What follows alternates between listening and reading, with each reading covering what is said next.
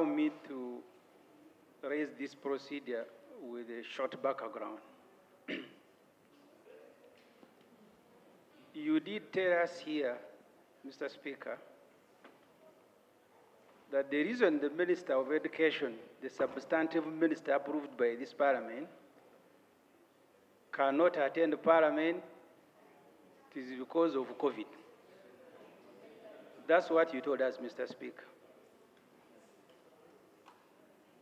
I was wondering if the minister who has no time for parliament can have time for schools.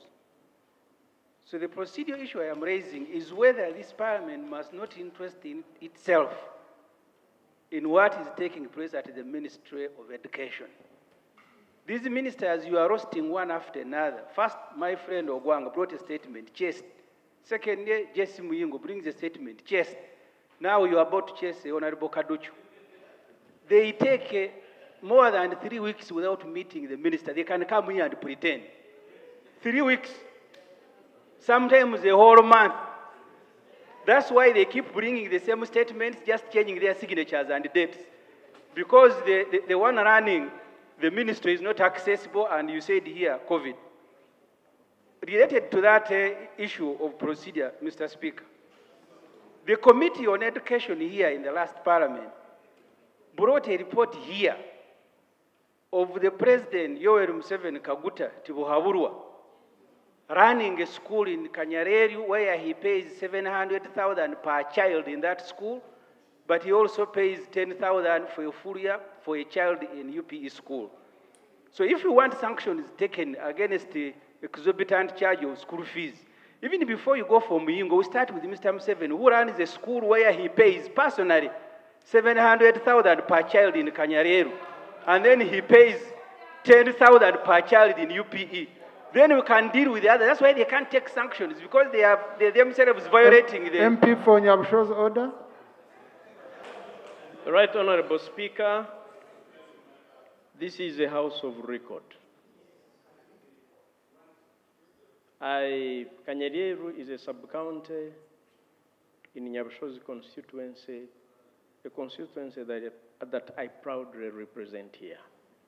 I want to state on record that President Yoweri Kaguta Museveni, whom he calls Mr. Museveni, does not have own or have a school where he pays school fees as he states.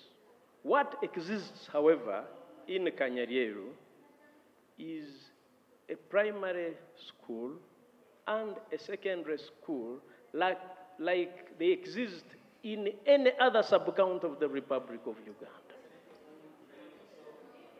Even in Kira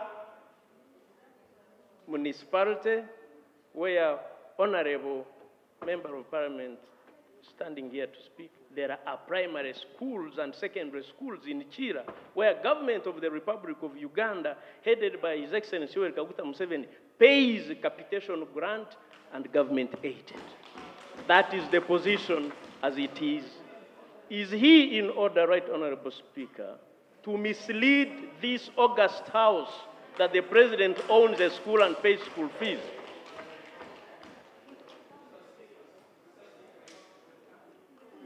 Mr. Chairman, you wanted it add on before I can. Your Chairman, Education Committee? Yeah, thank you, Right Honorable Speaker. I came in uh, the Parliament of Uganda, the 10th Parliament, and right from the time we resumed Parliament in 2016, I was on the Committee of Education. In 2018, I was the Vice Chair. I don't remember any moment when the Committee of Education brought a report relating to what Honorable Ssemujju was saying. Would you bring the evidence in the house, on the on the website and lay it on table? So, uh, to, uh, yes, uh, so uh, I need your protection right on speak so that I conclude. Please, uh, it's you on the microphone. Yes, thank you very much. Thank you very much.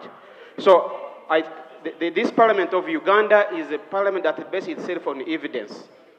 So, I would request through you, right honorable speaker, Honorable Semu, Ssemujju, my best friend, to bring evidence of what he's talking about.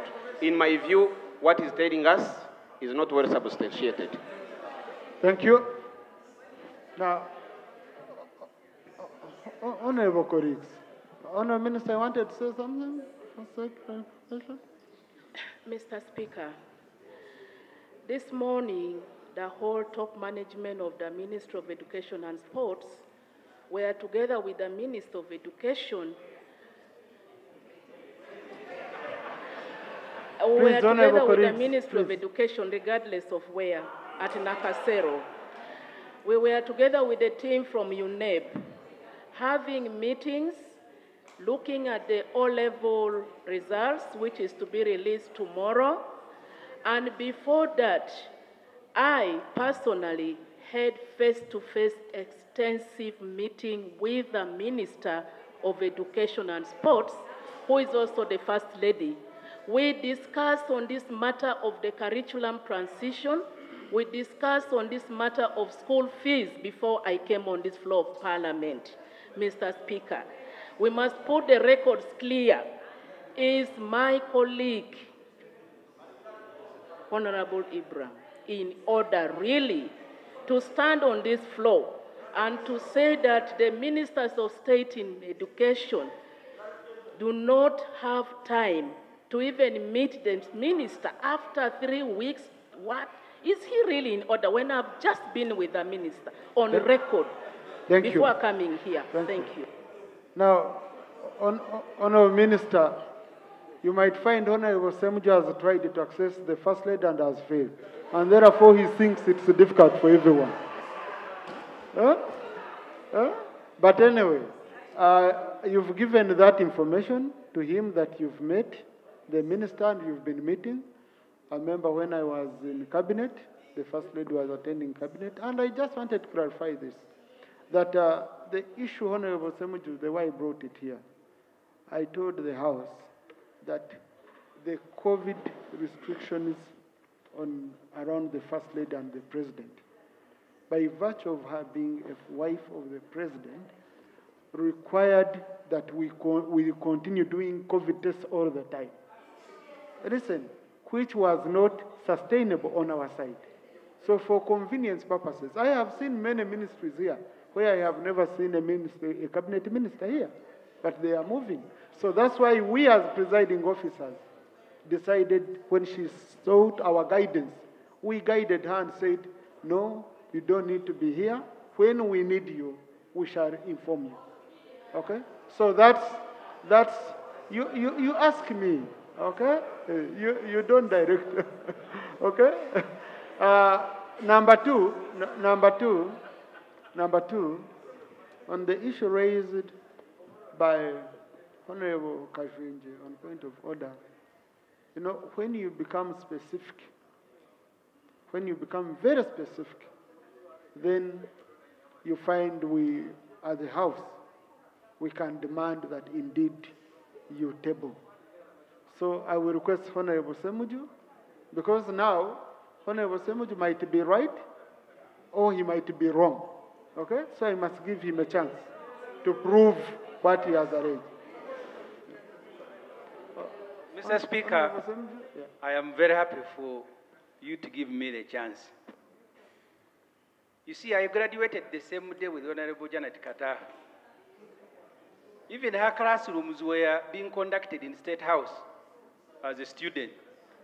So when I, these things, we, we, know what you're talking about. Mr. Speaker, I am going to bring here a report, a report of the Committee of Parliament that was complaining the president runs a school where he pays school fees 700,000. I am going to bring that report. I also bring the answer the day we debated that report.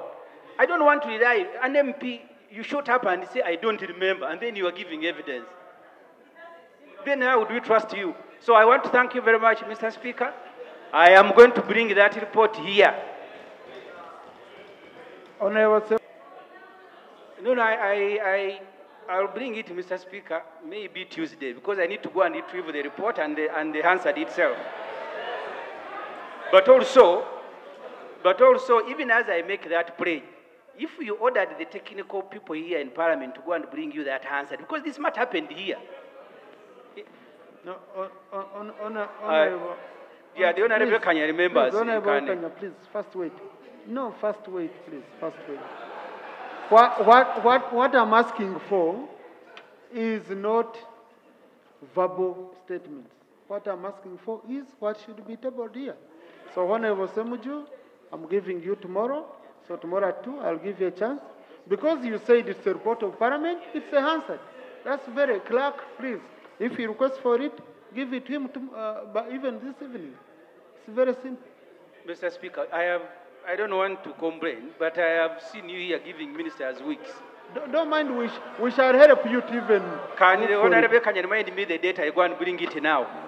Honorable Kanya, please, please.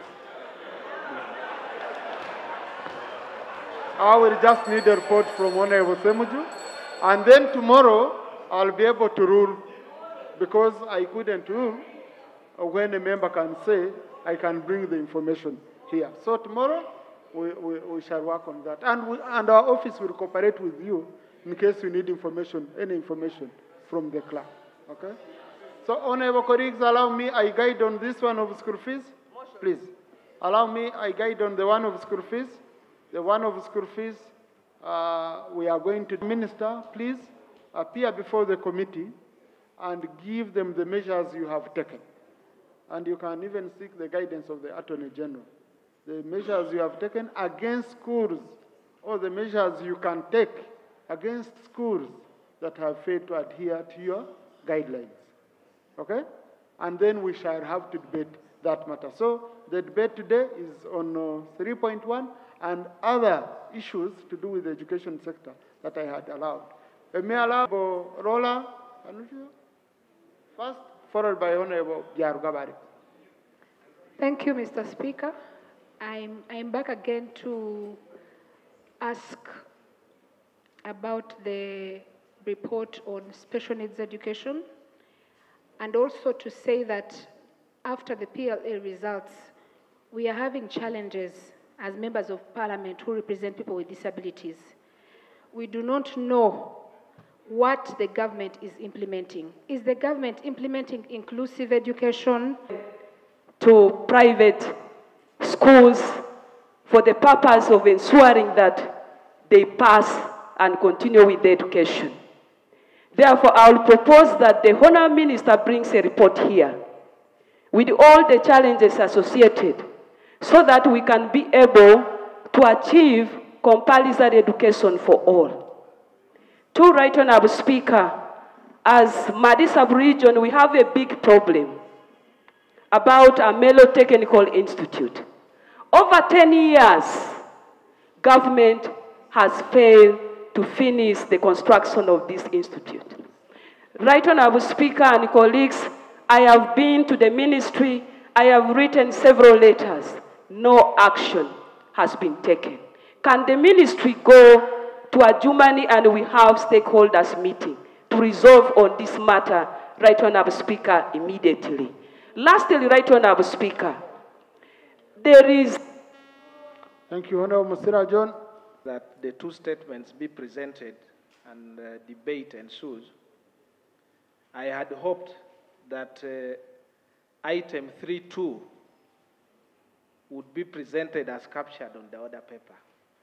And for emphasis, the item is the measures against errant schools that charge exorbitant fees in clear violation of the directives issued by the government.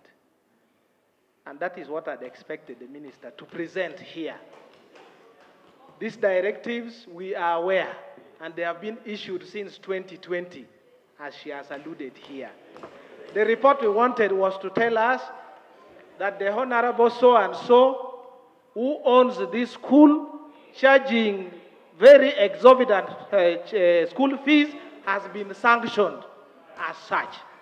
That the Honorable Dr. Joyce Moriku, who owns this school and is the minister in the education sector, has been sanctioned this way.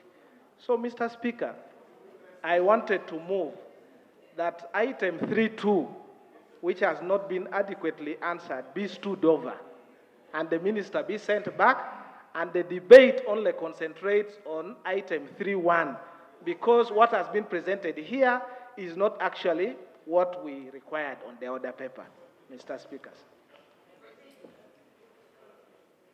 Thank you. Let me first speak around two procedures, two more procedures, then I give, if it's in relation to what Honorable Jonathan Odur has raised. Is it connected to what Honorable Jonathan Odur has raised? Because I cannot have procedure on procedure, okay? So I want to know if it's related so that I answer at once. I guide at once. Honorable Sir. Thank you, Right Honorable Speaker. Right Honorable Speaker, the voices of the poor people can only be heard in this parliament and through members of parliament.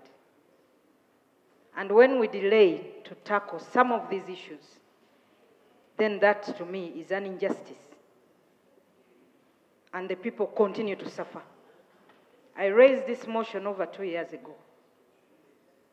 But as you can see, the problem is actually becoming worse to an extent that, Right Honorable Speaker, you can even see nursery schools charging 4 million shillings for a nursery kid.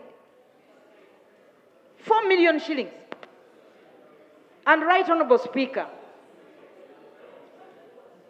I want to completely concur with the Honorable Jothan, uh, I mean, uh, Honorable Dur, that let us focus on the issue of the curriculum and then allow the committee and us to go and discuss so that we can have a report presented to this House and then we can discuss in detail.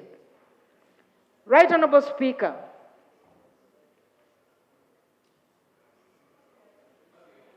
Right Honorable Speaker, I even have another motion that has been on the order paper and off regarding the early childhood education policy.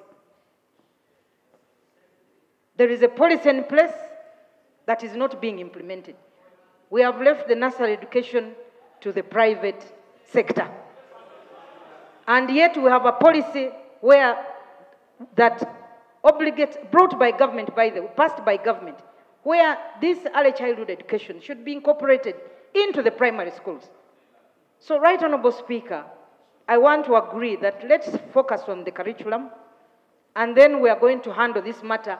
Hopefully, next week we have a whole session to discuss this issue regarding the education sector in this country. So, Right Honorable Speaker, that is my uh, that's the procedure issue. This would be the second time, if we are to turn away this report as presented, it will be the second time we are sending the minister, the third time, Mr. Speaker, that we shall be standing over this report because it is inconclusive. Right Honorable Speaker, would it be procedural okay? If we continue, if this House continue to send away the minister and demand for a better report without indicting or reprimanding the same minister, wouldn't we be breeding impunity? Uh, right Honorable Speaker, wouldn't it be procedurally okay if you would allow me to move a motion without notice that this House moves to reprimand the Ministry of Education over its failure to bring a report that would enable this House to tackle a matter that is so pertinent to the education of our children. Mr. Speaker, wouldn't it be procedural okay if you would give me that opportunity, sir? I beg to, to move. Thank you. And they say, we are now, these things are not done quickly, we are now doing them, but money is not in the budget. Maybe you are doing them in your sitting room. But also, Mr. Speaker, most important, the, the, the point that the, my neighbor here ha, ha, has made, none of us is contesting that the new curriculum is good. We are only saying prepare for it. I'll give you an example. I have a daughter. She leaves one secondary school to go to another. Then they say, Your continuous assessment results are not here, so we can't give you a report. Another friend of mine, they say, No, no, we can't take your child because uh, those progressive things remained where you are, so you stay there. we're only questioning the preparation. Maybe it is not painful, you may not have children. So that, that's, that's the, the, the point that uh, my colleague was saying. You have provided no money in the budget, you are saying you are developing a curriculum where the, a colleague has said they went to people whose duty is it to develop it, they have not even started on it. Our children are registering to sit in year four. And then finally, Thank you. Thank you. Now, honorable colleagues, because you have brought a curriculum, and now for A level, you are telling these students to apply for combinations based on the curriculum which you have phased out. So, is this curriculum stopping at O level? If not, how have you prepared for this transition to A level? Honorable Minister, no, honorable colleagues, I don't, on matters of, ekizibu kye tulina ku national id nga parliament ne bannayuganda basinga obungi kye balina gavumenti mu supplement etwagiwa biliyoni bisatu okugula ebyuma okutwala abantu okubasomesa bwe bagenda okukola identity card empya zo gavumenti zetugamba nti zirimu ebyokwerinda bingi okusinga ku zino. Ekizibu gavumenti yemu newenjogera naawe sawa zino nogenda ku buganda road bakyafulumya id nze abaana bange babiri babawadde id omwezi tegunnawera. Eyange gyenyina national id eno gyolaba eggwako 229 kati batubuuza nti bannaffe id ezitaggwako ate nazo mugenda kuzikyusa? Ate mba mugenda kukyusa lwaki ate mukyafulumya ne id empya? Mu kusooka twalina obuzibu bw'okusasuza abantu kati minsi atugende nti "Ah, abalina id temugenda kusasula. Nti okugyako abaana abaagala ozifuna mu bwangu bwe bajja okusasula. Tulinayo okulonda okugenda okukozesa id zino abantu zibawaayo okubalabirako. Ebbanga gavumenti luli yatwala lya myaka ebiri okusobola okukola id zetulina kati. Kati okubona tukukyaweza myaka ebiri.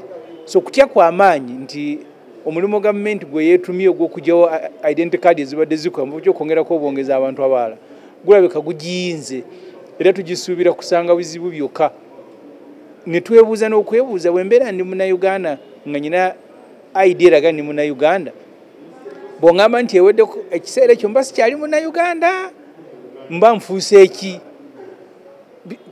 Tebasobola kubiddamu? Naye naffe kati tubateddeko buteezi maaso kulaba kinaddirira the questions that are in parliament today first we passed a supplementary budget of 300 billion shilling to facilitate what they have called mass enrollment and renewal of identity card in this exercise they claim they are going to renew 15 million ids and then issue about 17 new ones I have an ID that is expiring 2029. That's why I asked the government to tell me, are all the IDs going to expire and why are they expiring? Can my citizenship expire? But two, the same government is, even as I speak to you today, they are still issuing new IDs. I have two sons who have just gotten their ID from Buganda Road. New- Just last last month they got IDs, which means the ID should expire in, in 2034.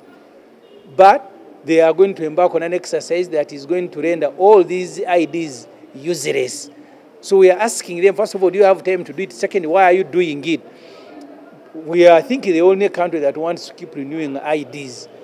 The other day, they, they issued us with the passports and then said we are now going to digital ones, these ones have expired. And we, we had to spend money, almost half a million to go and. So here it's, it's total confusion.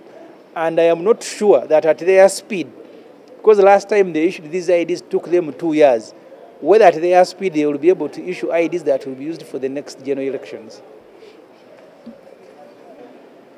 Well, Kakati, we, we, have, we have timelines and we have concerns about timelines within which an expiry of the national ID takes place and then within which when somebody is going to have another national ID.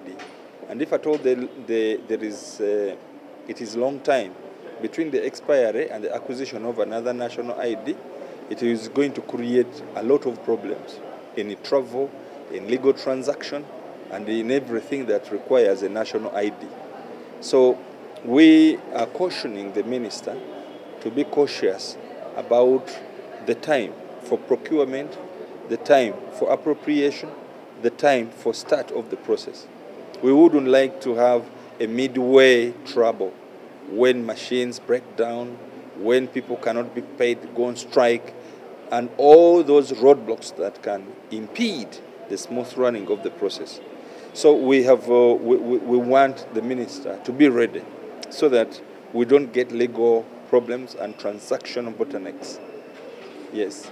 Kati kyetugamba nti ekyokugyawo ensimbi si kibi okuggyako ezaaliniwo tulaba nti no kituufu. Kubanga abantu abasinga era obungi wano n'okufuna obufunyi esente ez'okurenewinga national id kibakaluubiriza naye ekisinza obukulu kwe kubeera nti tugenda kutuuka ekiseera nga national id eweddeko eri expired. Tubeere n'ekiseera ng'oteeka okubeera ne national id empya kakati bwe tunaabeera n'ebbanga eddene wakati wa national id eweddeko n'empya dirwa onoogifuna ojja kufuna obuzibu. Singa onooba weetaaga okutravalinga weetaaga oba oliawo okufuna visa weetaaga okuggulawo akawunti weetaaga okutunda ettaka oba transactions zonna zonna ezeetaaga national id mu kiseera ekyo bwonoba nga togirina ojja kufuna obuzibu. Kati nno nga kyetaaga minisita okubeera ready ne gavumenti yonna okubeera ready okulaba nga expire ya, ya national id tetwala budde bungi muntu wanaafunira national id empya. Kubanga bwatunaabeera nga ziri expired nga tetulina national id mpya abantu bajja kuba tebasobola kutambula abantu bajja kuba nga tebasobola kuprocessinga uh, passports zaabwe abantu bajja kuba nga tebasobola kutransactinga ettaka tebajja kuba nga tebasobola kugulawo uh, accounts mu bank n'ebintu ebyengeri eyo kale no twagala babeere serious babeere swift babeere nga basobola okukola emirimu gino mu bwabwe yes. ekyomukisa omubi tetusobodde kufuna response okuva wa minisita. Naye singa kinaaba kyetagisa omuntu okubeera nga awaayo national id enkadde babawe empya. Abantu bangi nnyo bagenda kuviiramu awo kale ensonga eyo njogedde naye nkirabye nti ne kampala wano bwe kiri. Ojja kusanga abantu eruwuuka era omubaka w'eruwuuka omuwuli n'abalala batakyogeddeko bangi betwogeredde ng'abantu baabwe bambi beewola naye nga beewolera ku national id nga ke kakalu kawaddeyo kati oyo ajja kubeera nga tasobola kufuna national id mpya era process ejja kumuleka. Aye bwanaabeera nga essente zeyeewola tasobodde kuzisasula tajja kufuna national id kati no kitegeeza nti gavumenti eteeka okuteekawo measures egambe bannaffe mmwe abawola abantu sente ani yabalagira okutwala national id zaabwe bajja kufiirwa. Era e, tujja kuba tooki mu, gundi zaabwe mu licenses zaabwe. Oba balina n'obuyinza okuwola abantu sente nga akakalu national id kyekyokka kati nno n'olwekyo waliwo abagenda okufiirwa. Oba abantu abatagenda kufuna national id mpya olw'okubeera nti national id zaabwe baazibawa olw'okubeera nga tebasobodde kusasula mabanja ensonga ya ndagamuntu si yabannawakisa bokka oba si yaffe ba mps yokka eno ensonga yabannayuganda bonna. Naye minisita ebintu ebimu bye twamusaba tasobodde kubyanukula era kyekirwaki olaba nti paliamenti emusabye ate era n'olwenkyakomewo abeeko kyategeeza eggwanga.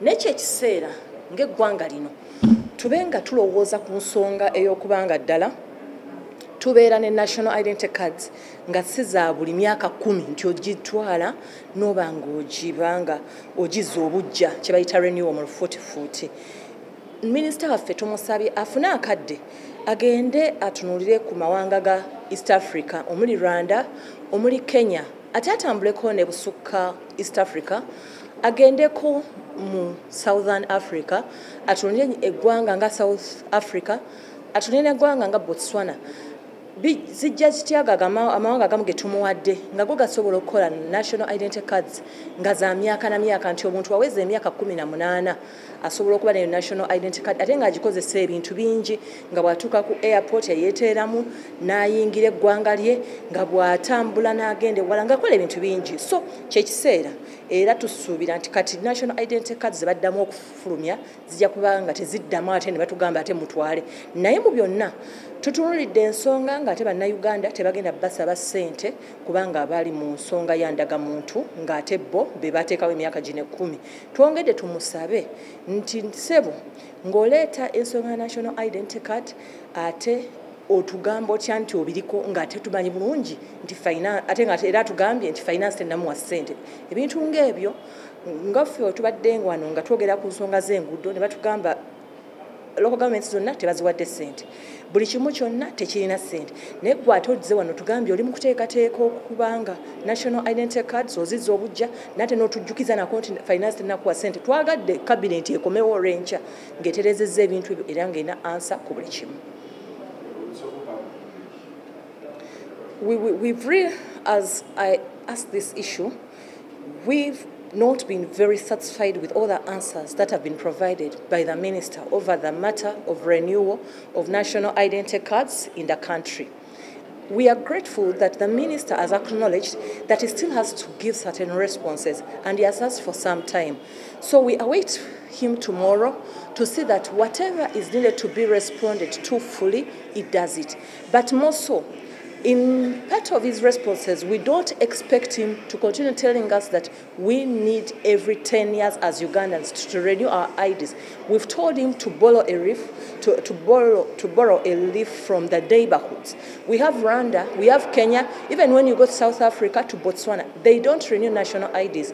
As long as someone makes 18 years, one is able to have a constant and a continuous ID. We expect that. But to make matters worse, we are worried a little. If you tell us you've already commenced on the renewal process and you have 300 billion in place, but you tell us the money is still in process, you are waiting for finance to release the funds, that one I worries so much Ugandans and continuously they have told us that money is not there. Even local governments did get money for handling roads and the like. So we are a little worried, but we await his responses upon the different questions we've put before him concerning the mass renewal of national IDs. Even the fact that some people have just got their cards, they have just registered, other cards expire in 2030. Is that person also expected to renew his or ID?